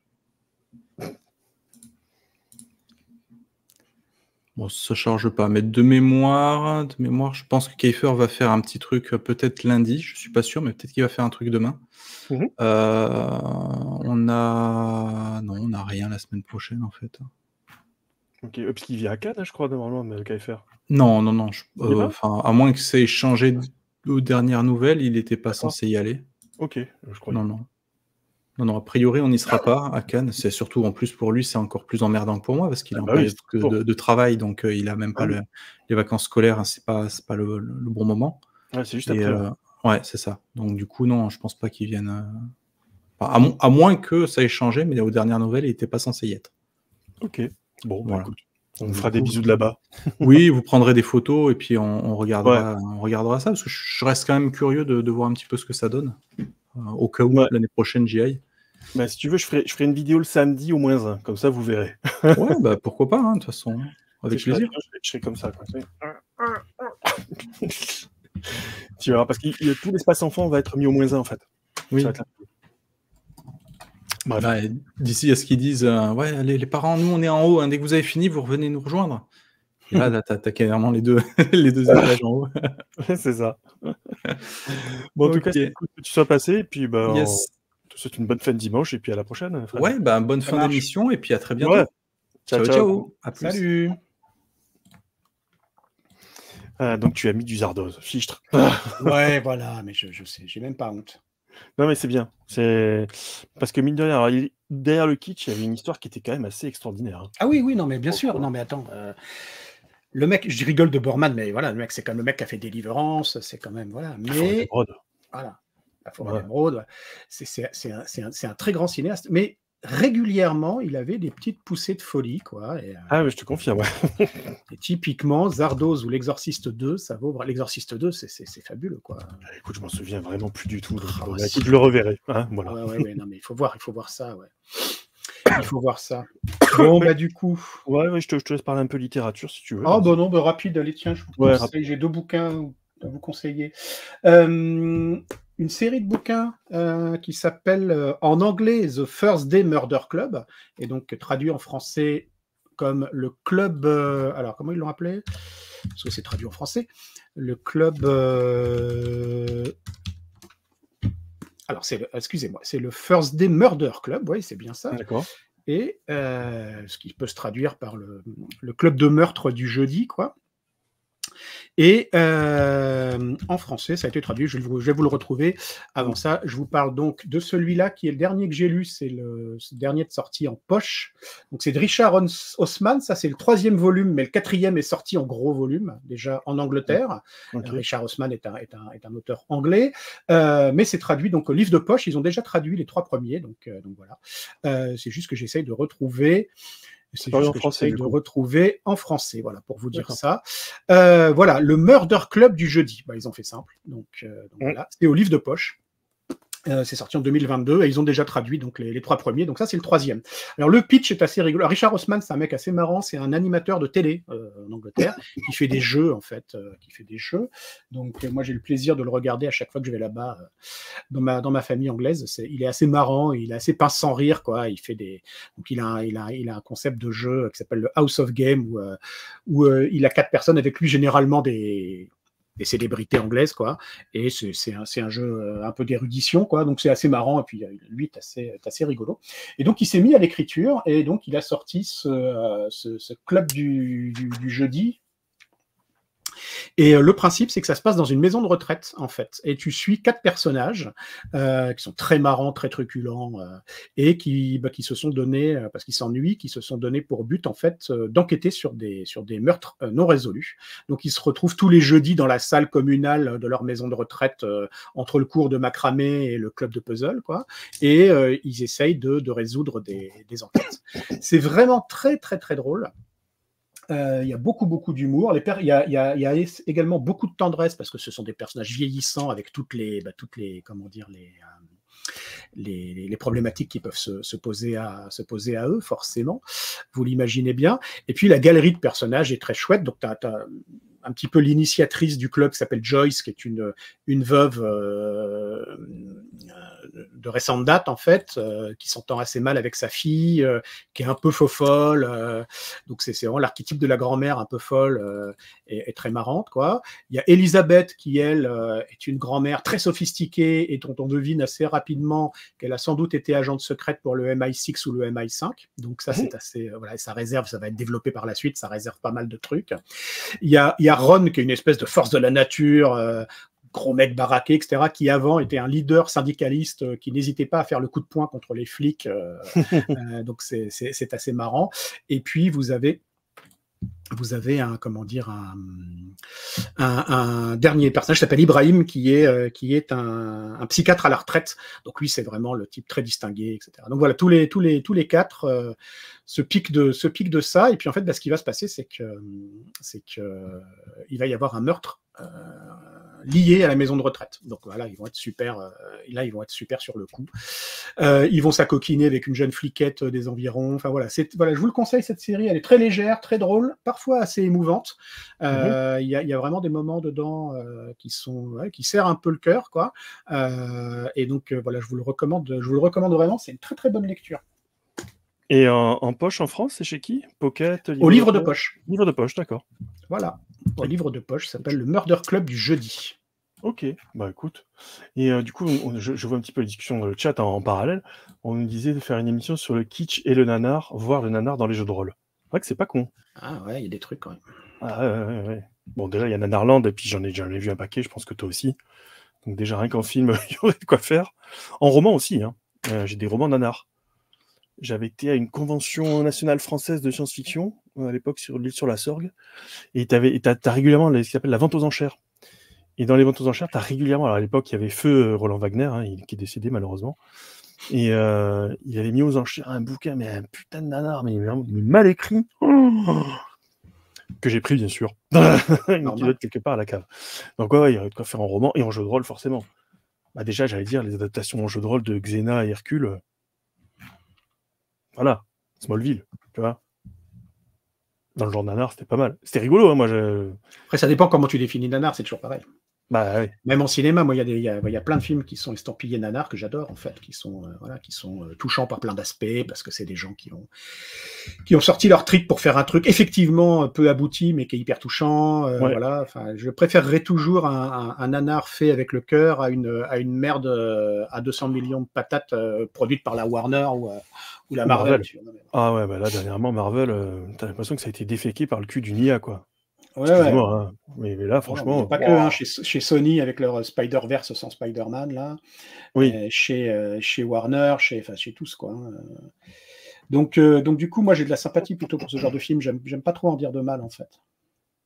Oui, mais c'est pas, pas le but d'en dire du mal. C'est de, rigoler aussi un peu, et puis d'expliquer les histoires derrière. C'est toujours sympa, tu vois. Ah, bah ça, les grands films malades, ça, c'est un vrai sujet aussi. Ouais. Ah, Je sais pas si on pourrait avoir ça en JDR, mais.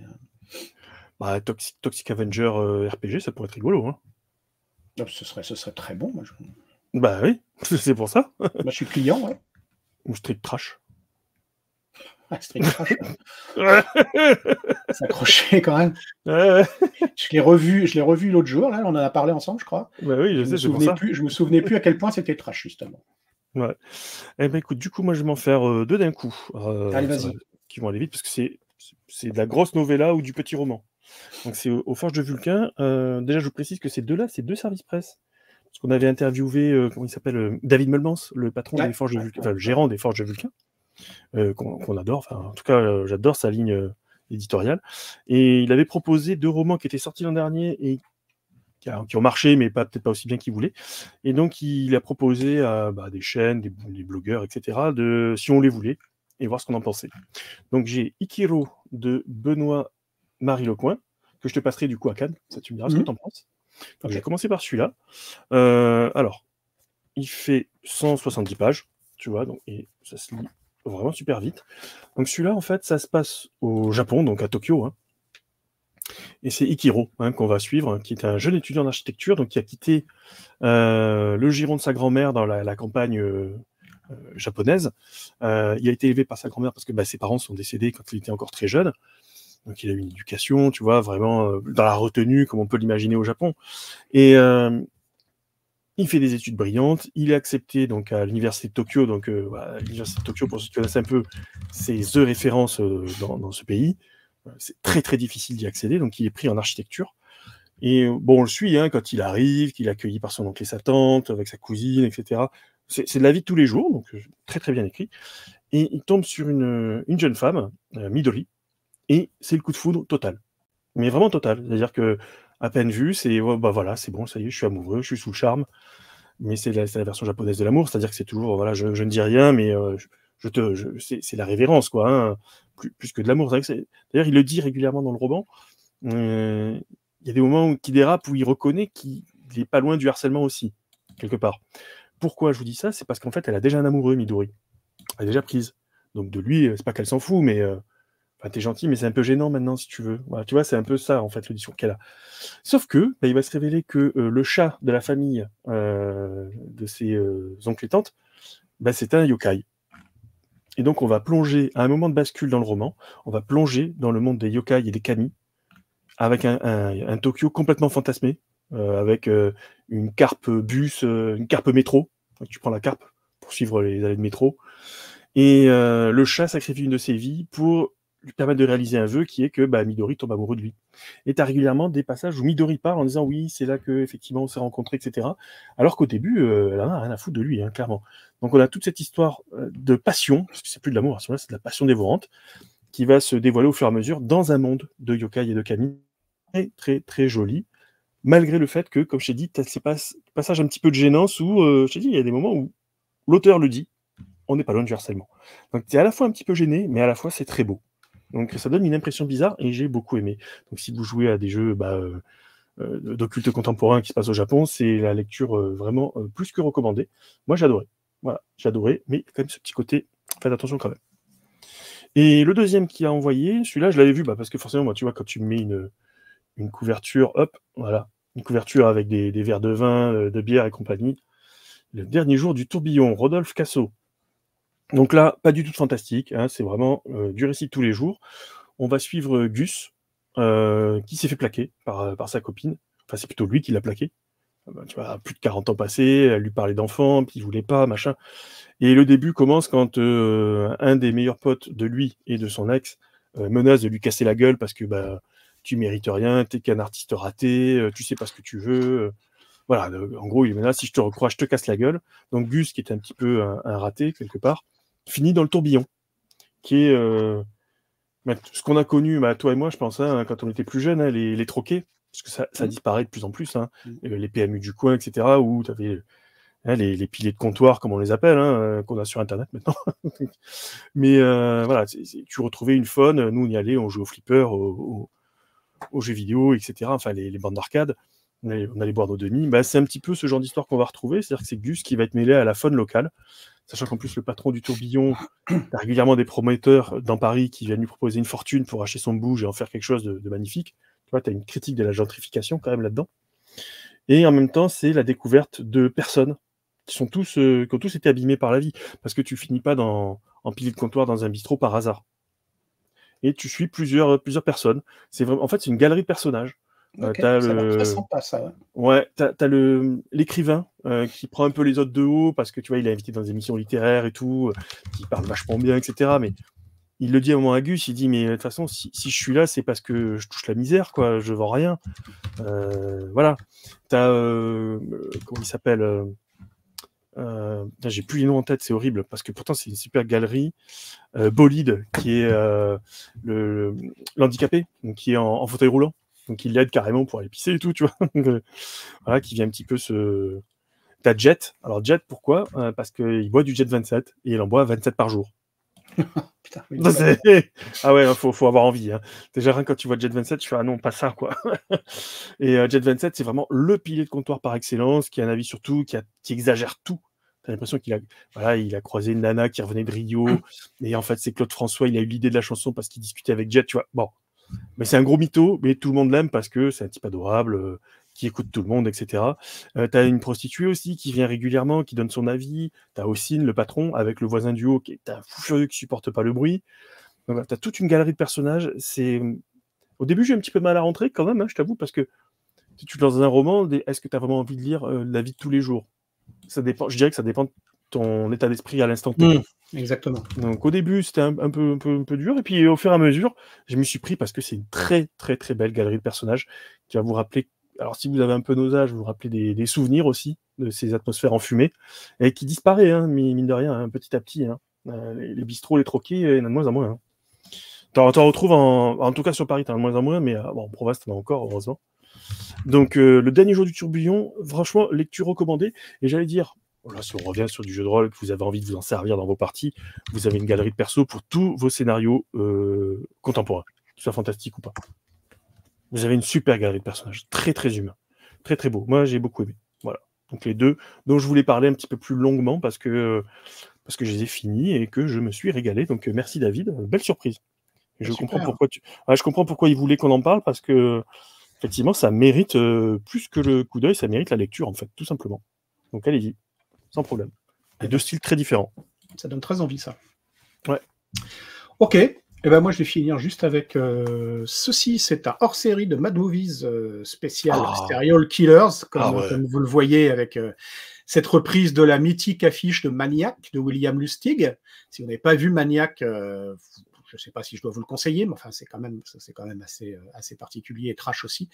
Euh, moi ça fait partie des films que j'aime beaucoup. Donc là en fait souvent comme souvent avec leur principe de hors série après un après un petit un petit passage pour expliquer un petit peu de quoi ils vont passer, de quoi ils vont parler. Bah, vous allez avoir des doubles, triples ou quadruples selon les films, pages Mmh. sur euh, des films.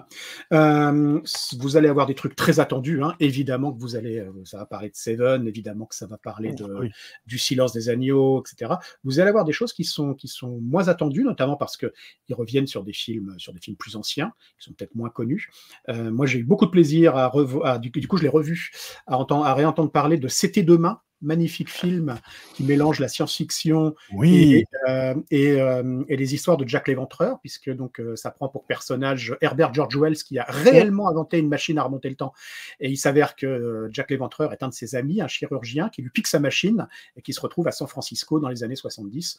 Et mm. donc, quand la machine revient, Wells décide de le, de le, suivre et de le pourchasser, persuadé qu'il est en bon, en bon, en, comment dire, en bon en bon utopiste que euh, bah, il, va, il, va se retrouver dans un monde parfait et forcément San Francisco euh, dans les années 70. Et tout à fait, c'est euh, Malcolm McDowell qui joue Herbert George Wells, qui joue très très bien George Wells. Mais alors moi, comment dire, mention très très particulière, un acteur que j'adorais qui s'appelle David Warner, qui joue Jack l'Éventreur.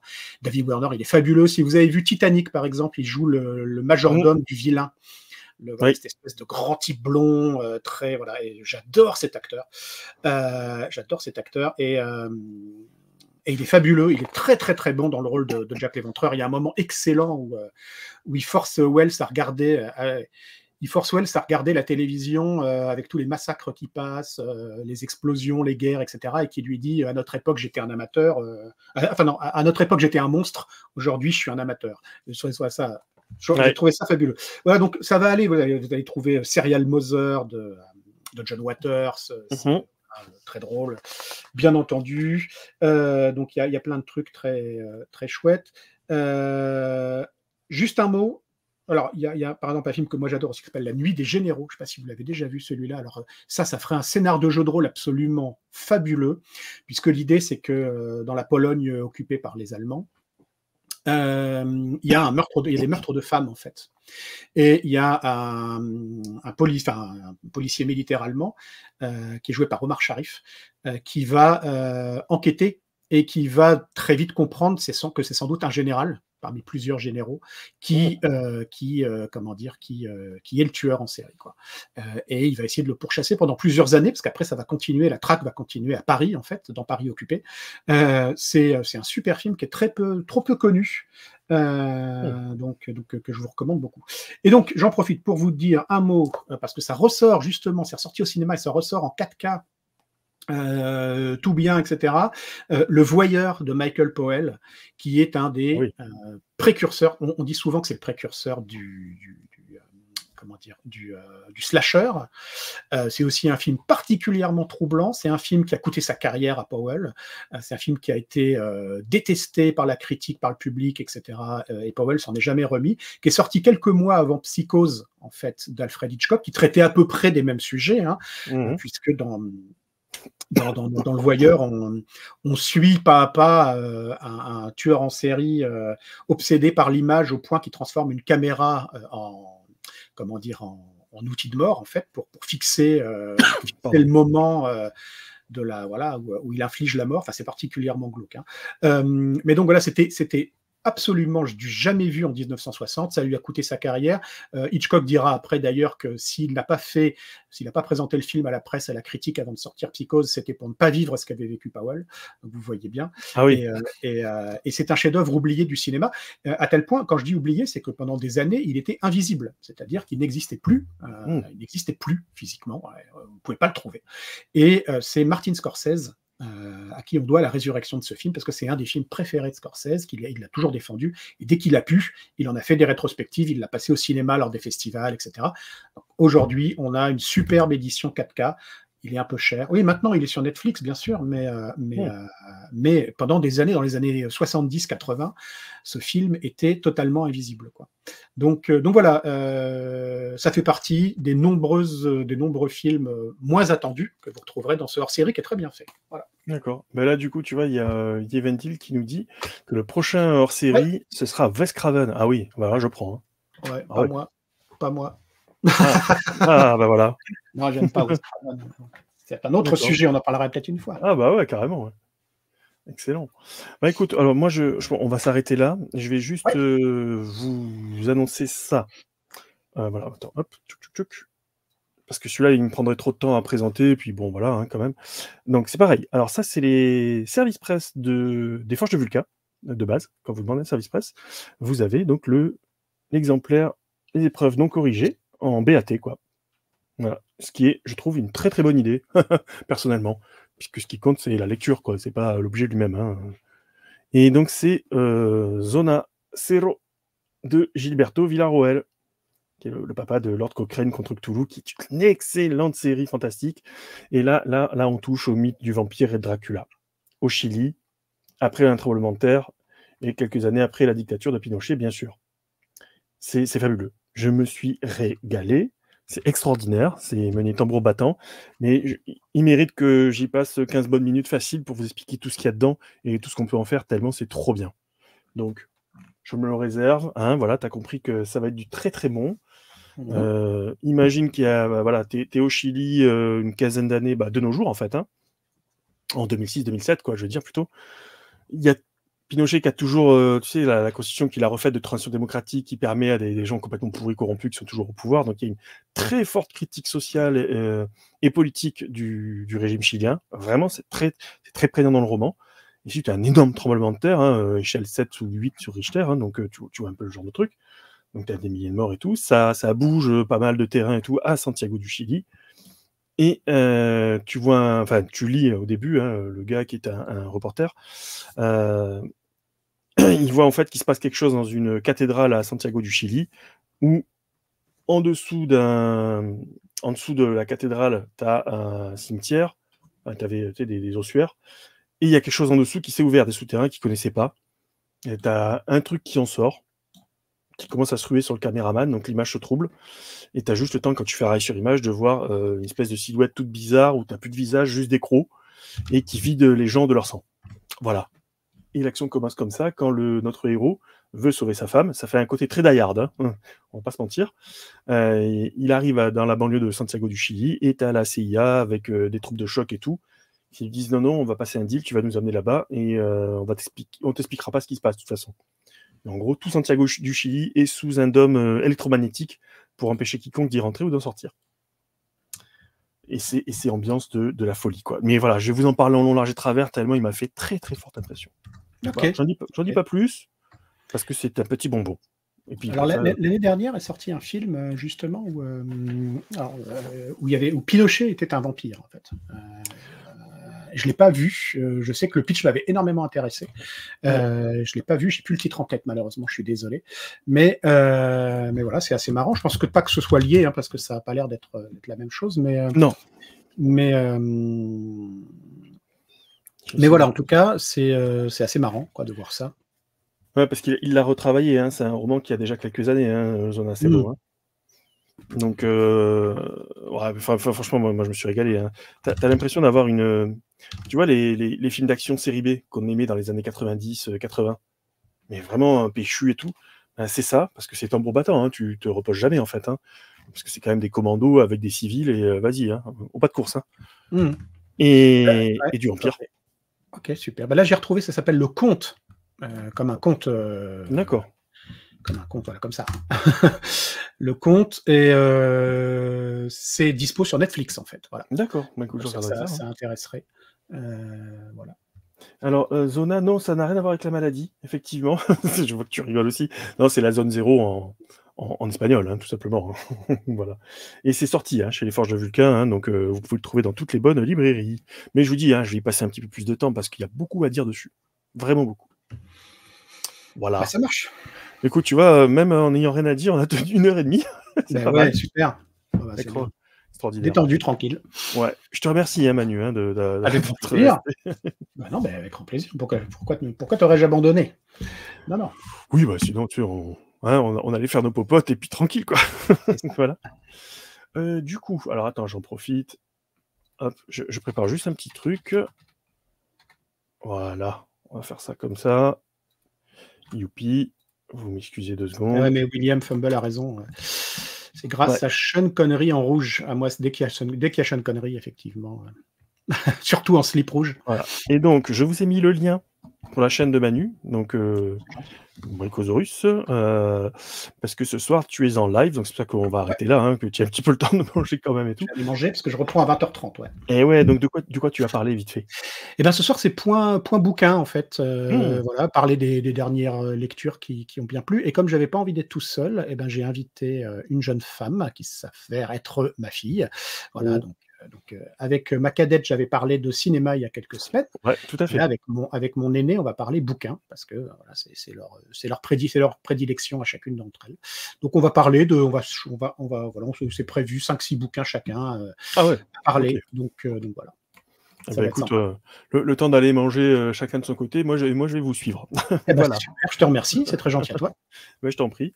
Bah, on, vous dit merci à tous, à toutes et à tous hein, qui êtes restés dans le chat. incroyable, hein, tu vois, le, la, vraie fausse interview d'Agathe, finalement, qui s'est terminée en gros papotage. ah ouais, très bien, très bien. ouais, ouais, c'est pas mal aussi. Voilà.